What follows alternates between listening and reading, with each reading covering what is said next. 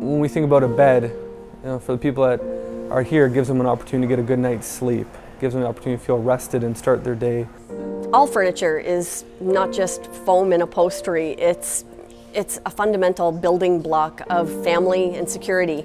Furniture Bank is a big open showroom, much like the stores that you would go to. When we first get here, we, we kind of come together, talk about what, what people are coming in, whether it be from streets to homes or you know, refugees or people exiting abusive relationships. So we get a feeling for the type of client we'll have for the day. We walk around the showroom, we try and meet their needs. Any item they find that they like, we sticker with their name so it's clearly labeled.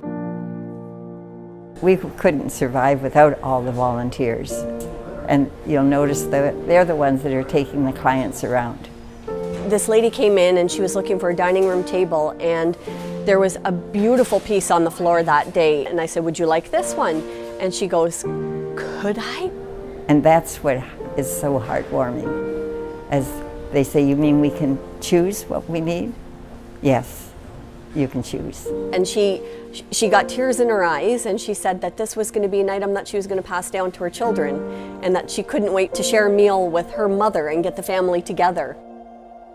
After you, you take people through the showroom, there's a little bit of time where you can sit outside with them and talk to them and get to know their situation about how they, how they ended up where they ended up. And, and I found that to be very rewarding because it really helps you to realize it could happen to you if, if circumstances had changed. So I realized it was a unique opportunity where we could get hands-on with, with clients. You really feel like you've made a difference because you remember their face at the end of the day and you think, today I helped that person, that particular person.